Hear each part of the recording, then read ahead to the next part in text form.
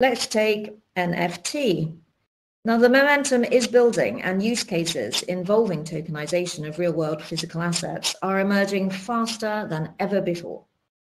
It is predicted that the market for tokenized assets could reach $16 trillion by 2030. It is unquestionable that our world is being tokenized.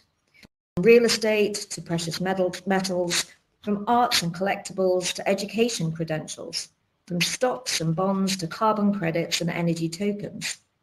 The physical assets are getting tokenized and this trend will only grow from here.